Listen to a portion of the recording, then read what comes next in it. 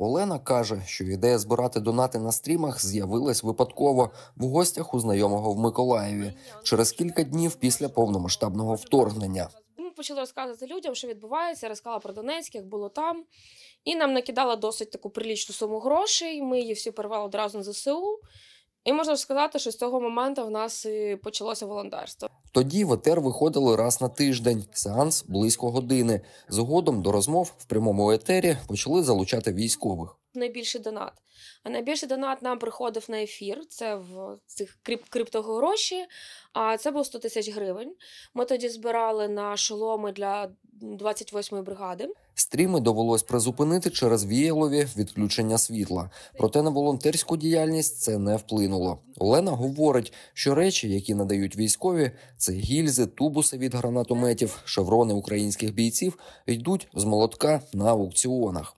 До речі, цей шеврон ми продали за 40 тисяч гривень, робили розіграш. А його викупили, і коли я спросила адресу, куди відправити, то мені написав хлопець, най тобі лишиться, буде згадка. Ось і тому ми його ніби продали, але тепер він мій. Є експонати, які не продаються. Цей ми лишаємо. Він був відстріляний на Херсонському напрямку. І цей хлопець, як ви розумієте, ні разу не, не артилеріст, він вчився. І це був його перший відстріляний снаряд. Він мені його привез у подарунок, і тому його ми не продаємо. Олена каже, що незабаром збори на стрімах відновлять. За майже два роки війни змінилась активність громадян в зборах і потреби військових. А зараз, звісно, змінилося запит. Якщо раніше це був все ж таки там більше форма, ж, бо взагалі, пам'ятаєте, не було нічого там, ні шоломів. А зараз вже більше стандартно йде. Це плітоноски, бо вони гарять, просто стандартно. Плітоноски потрібні.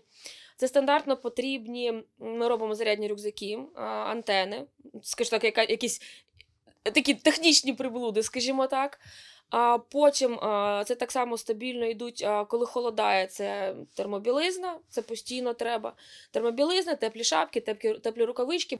Зараз волонтерська діяльність благодійного фонду Олени охоплює всі напрямки фронту. Заявки військових різняться. Це можуть бути спальники, ліки, елементи амуніції, зварювальні апарати, бензопили тощо. Тож волонтери знаходять час і щоб підбадьорити військових жартами. Ми одному з командирів, це 56-та бригада. Вони були під Славянськом, і ми йому на цей піджопник називається п'ятиточечник, приклеїли рожеву бахрому. Він сказав, чому рожева. Я сказала, тобто тебе в принципі смущає тільки колір. І потім також воно там ну, трошки він нашкодив, і я йому на бушлати пришила ось цей рожевий буа.